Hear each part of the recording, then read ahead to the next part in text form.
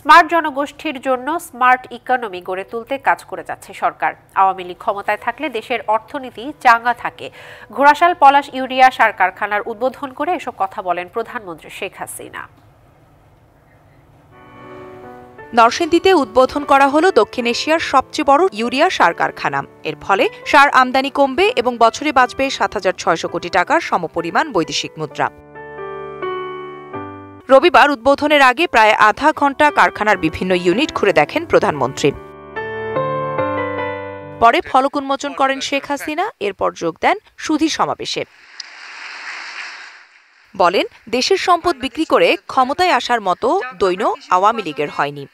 নগদ পেমেন্টে কেনাকাটায় জিতুন আইফোন সাথে ইনস্ট্যান্ট ক্যাশব্যাক দেশের সম্পদ বিক্রি করে ক্ষমতায় আসতে হবে এই দৈন্যতায় অন্তত বঙ্গবন্ধু শেখ মুজিবের কন্যা ভোগে না আমার কাছে ক্ষমতা বড় না আমার দেশের স্বার্থ বড়।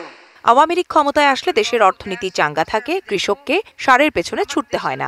এই বিএনপি সরকার আমলে কৃষকরা সারের জন্য আন্দোলন করেছিল।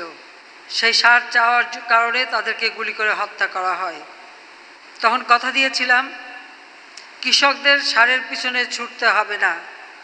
সার কৃষকদের ঘরে পৌঁছে যাবে সার তারা নিজেরাই পাবে। তুলে ধরেন সরকারের নেয়া বিভিন্ন উন্নয়ন কর্মকাণ্ডের কথা যা দেশের অর্থনীতির গতিকে ত্বরান্বিত করছে।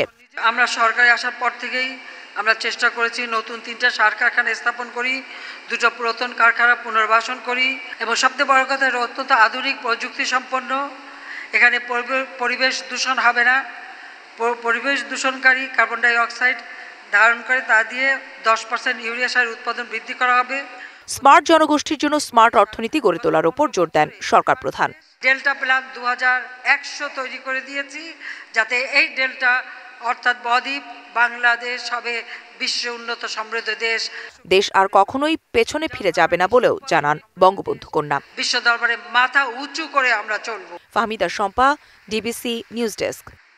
Nagad পেমেন্টে কেনাকাটায় জিতুন আইফোন ফিফটি সাথে ইনস্ট্যান্ট ক্যাশব্যাক